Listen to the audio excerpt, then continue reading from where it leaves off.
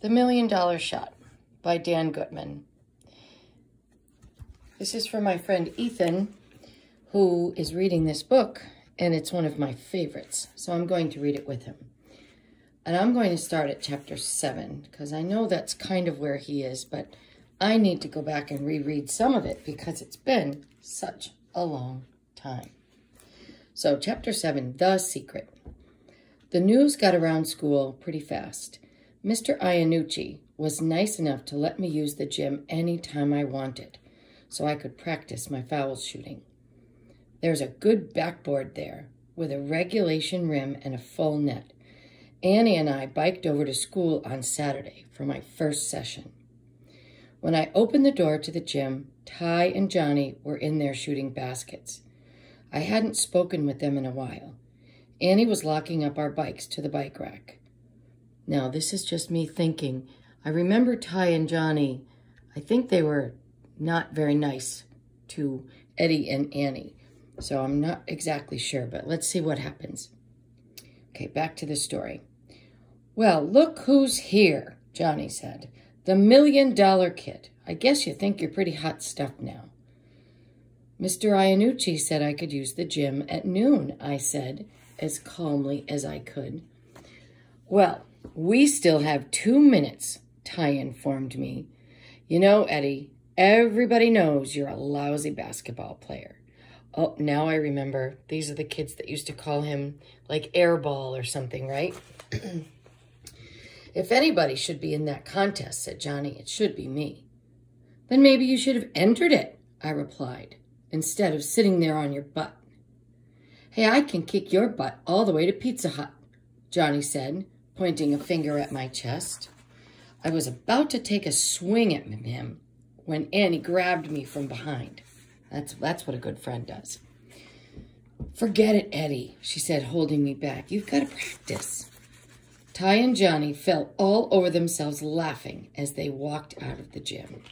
Yeah, Eddie, listen to your girlfriend, Ty smirked. Time for practice. He's gonna need it. Johnny added. Loser. So long, airball. Ty cracked as the door slammed shut behind them. Let 'em laugh, I thought. They were the losers. Annie and I had the gym all to ourselves. Hey, Annie, I said, watch this. After we pulled a bunch of basketballs out from behind the bleachers, I put the ball behind my back, leaned forward, and flipped it over my head. It fell short of the rim. Very impressive, she said. Oh, yeah? Let's see you do this. I turned around so my back was to the basket.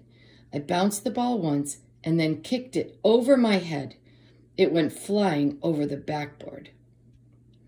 Eddie, she said after I chased down the ball, I think you should be serious about this.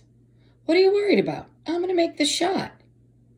So you're pretty sure of yourself, she said. How about you take 10 serious shots right now and we'll see how you do. No sweat. I stepped up to the line and I put up a shot. It bounced off the back of the rim and came right back to me. Um, that, uh, that one was just practice, I said. Tell that to George Finkel when you missed your million dollar shot, she said. You're 0 for 1, big shot. I drilled the second and third shots, but missed the fourth. Number five and six went in the net. Then I missed seven and eight. I swished number nine. Just before I let go of number 10, Annie jumped in front of me and waved her hands in the air, and the ball bounced off the rim and off to the side. Hey, what are you trying to do? I complained. Wreck my concentration? Yes, she exclaimed. Eddie, you're going to be under incredible pressure when you take the million dollar shot. People will be screaming and waving banners. You know Finkel is going to try to ice you. I got ice water in my veins, I boasted. I'll sink it. You can bet on it. Bet on it? Annie sounded angry at me. You just made five out of ten. Fifty percent. Fifty percent isn't bad. Wow, if I got a 50% on a test, I don't know if I'd be very happy. Eddie, On June 14th, you're going to get one shot. That's it. 50 50 is not very good odds. And with the pressure on, it's more like 40 60. So that's 40% that he could do it and 60% that he can't do it. And let's see, 40 is less than 60, so she is not betting he'll be successful. Anyway, she says, I wouldn't bet on you. Hey, lighten up, Annie.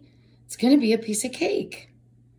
Well, if you're so sure of yourself, I guess you don't need my help, she huffed. And then she marked off, she marched off the court. Annie, wait, I called after. I'll get serious. But she was already on her bike, heading home by herself. Oh, man. Now all my friends were mad at me. It was turning into a really lousy day. Mom and I went fishing. Oh, sorry, finishing. Mom and I were finishing the dinner dishes when someone banged on the door. We were surprised to see Annie's dad standing there, and he didn't have Annie with him. Hmm. Come in, Mr. Stokely, Mom said, quickly putting stuff away so the trailer would look more presentable. Excuse the mess. Mr. Stokely had to duck his head down to fit inside. At first, I thought he had come over to beat me up because of the argument I had with Annie. That's funny, like a dad would come beat up a kid. But he had a gentle look in his eyes, and in his enormous hands, he was holding a brand new, top of the line Spalding Official League basketball still in the box. Oh my God, that's a hundred dollar ball, I said. You're right, he replied. If you're going to shoot your best, you're going to shoot with the best. He opened the box, palmed the ball. God, this guy must have been. Wait, wait a minute, wait a minute. Wasn't he a professional basketball player at some point, I think? Hmm. I remember he opened the box, palmed the ball, and held it toward me. Compared to that ratty old basketball I've always had, this one looked like a ruby or an emerald or something. It's for me? I asked. Yeah, Mr. Stokely said, but there's a catch. What's the catch? You gotta let me coach you. Sure. And you gotta get serious. You gotta do everything I say. Uh, okay, I said. When do we start? Now. Now? It'll be, it'll be getting dark out soon. Now. Mom nodded to me, and I left with Mr. Stokely. Shooting a free throw is the easiest thing in the world, he said, as we walked over to the, to the court in the trailer park where I'd first met Annie. The court was lit by one single floodlight. There are only four ways you can miss. Short, long, right, or left. That's it. He stopped at the foul line. Okay, he said, handing me the new ball. Show me your stuff. I spun the ball a few times in my hand, put my right foot forward against the land, and popped up a shot. It went in, and I was pretty proud of myself. You're taking a jumper? Mr. Stokely exclaimed. He acted as if I had just murdered someone. what are you taking a jump shot from the foul line for? I always shoot foul shots this way, I said. You're, you, sorry, you shoot a jumper when somebody is in your face, he explained. Putting your body in motion only increases the chance that you'll miss. Now, you don't have to jump for a foul shot. Nobody's guarding you. The pro shooters jump on foul shots. That's why the pros only average 66%, Eddie. A free throw is not like a shot from the floor. It's a whole different game, and you got to play it different. If you want to make all your free throws, you take a set shot.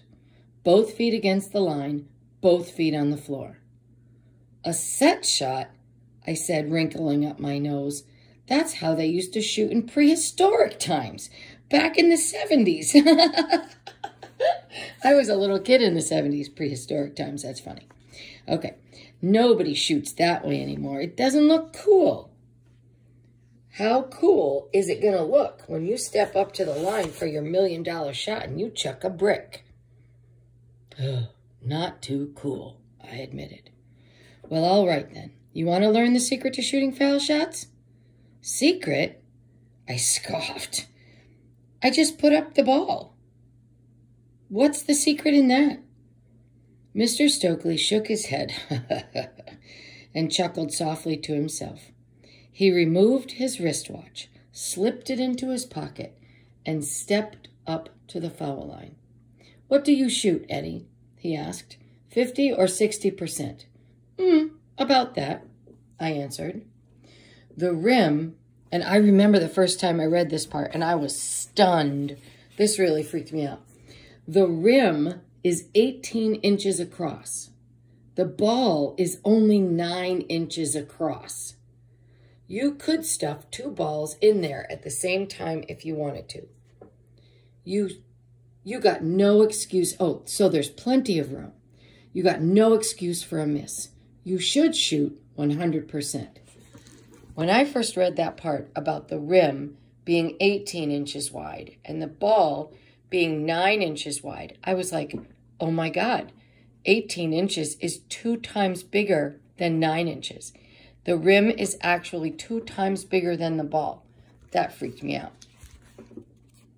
Nobody shoots 100%, I said. Well, he didn't respond.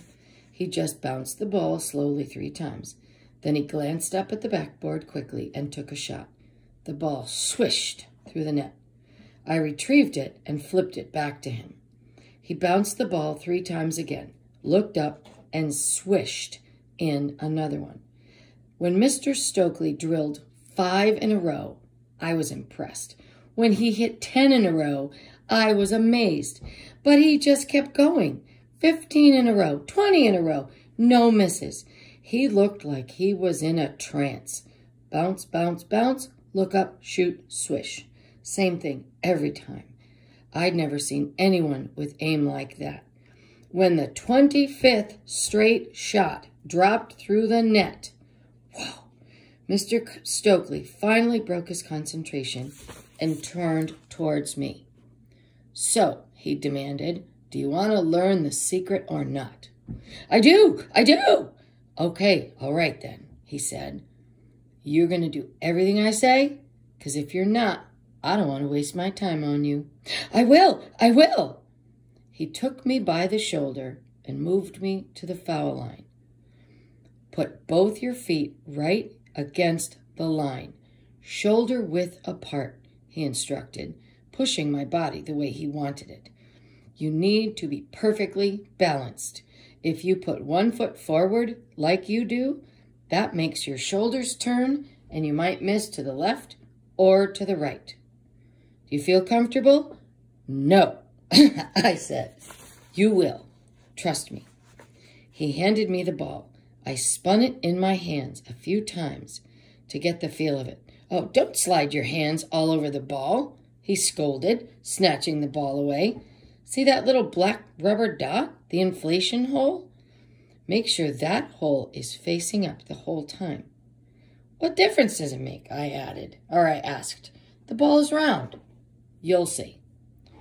Put your thumbs in the groove here and put your middle fingers towards the hole.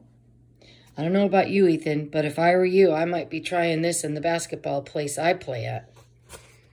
He gave me the ball back, and I did as he said, pointing my finger towards the little hole where you stick the ball, stick the pin in to inflate the ball. Now, bounce the ball three times. Don't dribble it. Bounce it slowly.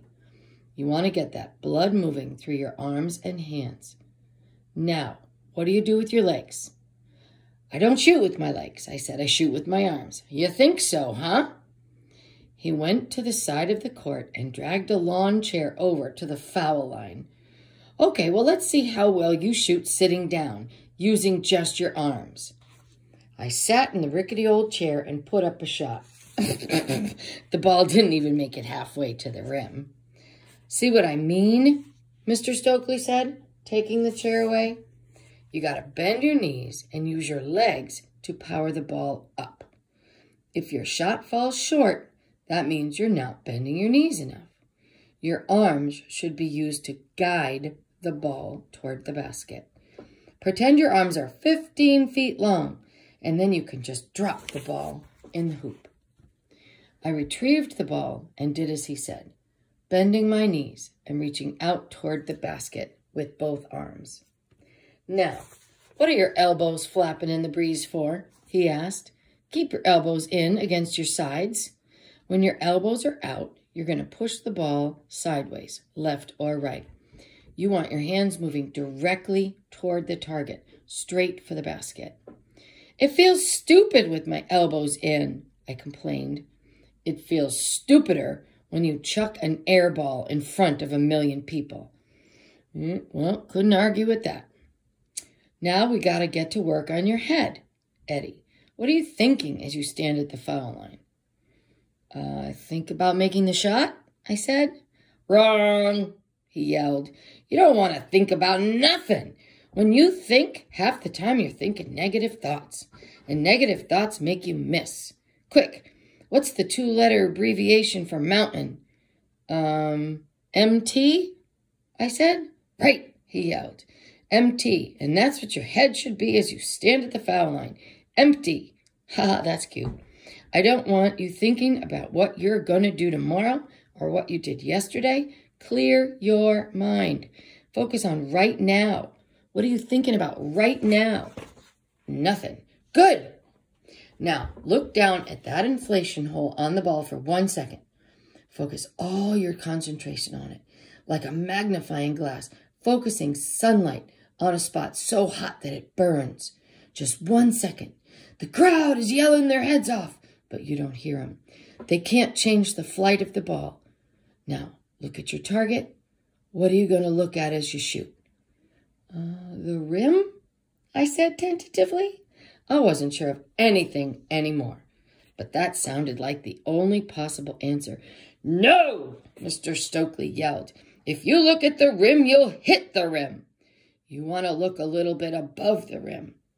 I want you to imagine a column of air, an empty space that curves up and through the middle of the rim, a nice high arc like a rainbow. Now shoot the ball through that column of air. Whew, wow, this is a lot. I took a few moments to visualize a thick, round glass tube leading from my hand and up and into the basket like a funnel. I took a deep breath and prepared to take my shot. What are you staring at? Mr. Bo- Mr. Stokely suddenly barked. Don't stare at the basket. It ain't going nowhere. You must. Your most accurate view of the target is the instant you first see it. The longer you stare at it, the more you start calculating how far away it is and how high your arc should be. Stare at the inflation hole. Then just glance at the basket. Your instincts and muscle memory will tell you the right distance and direction. Whew, this is a lot to remember. I stepped to the line again. Okay, Eddie, Mr. Stokely said, it's just you and the basket and the ball. Put it all together. I took a couple of deep breaths and put my feet square to the line. I bounced the ball slowly three times, keeping the inflation hole up. I put my thumbs in the groove, elbows in, knees bent, focused on the inflation hole, glanced a little bit above the rim, and I put it up. Swish! Whoa! Now that's the way you shoot a free throw, Mr. Stokely said, clapping me on the back. wow! was all I could say. It was an amazing feeling it was totally effortless. I felt completely comfortable at the line. I felt like my body was a machine, engineered to do nothing but shoot free throws. Now, do it again, Mr. Stokely said after flipping me the ball. You've got to use the same exact routine every time you shoot until it is so repetitive it comes naturally, like breathing you'll get to the point where you know the ball's going to go in as soon as it leaves your fingertips. I did it again, and the ball swished right through the net, and again, and again. I drilled 10 in a row without even touching the rim. How does it feel? Mr. Stokely asked. Like a million bucks, I said, and we both laughed. now you know the secret. The sun had completely disappeared from the sky, replaced by a show of stars. Mr. Stokely sat down on the tarm on the blacktop, stretching his long legs out in front of him. I sat down, too. Who taught you the secret? I asked. My coach at St. John's, he asked. Annie told me you almost made it to the pros. Came close, he sighed. I was the star of my team my senior year, averaged 18 points a game. Scouts from the Lakers and Rockets were coming around looking at me over, and I was sure they were going to draft me. I figured I'd be doing my own sneaker commercials, driving a fine car. What went wrong? I got cocky. I goofed off. I didn't show up for classes, didn't run my laps. I got lazy. I was so sure they were going to draft me, I was out spending the bonus money I didn't even have yet when I should have been practicing. Then I didn't get drafted. I could have been with the Lakers. Instead, I wound up with Finkel. Mr. Stokely spit on the blacktop, stood up, and extended his long arm to help me up. Sometimes you get one chance in life, Eddie, he said, and he walked me back to my trailer. One shot. No do-overs. This is your shot. Your opportunity to get out of this dump. Don't blow it like I did. I watched as he slowly walked back to his trailer. Wow. That's a lot. So he could have made the pros but he didn't. He should have made the pros, but he didn't work hard enough. Wow. No wonder he's so motivated to get Annie to do things the right way and to help Eddie. Wow, that's a really big deal. Okay, my friend, chapter 8 coming at you later on tonight. See ya.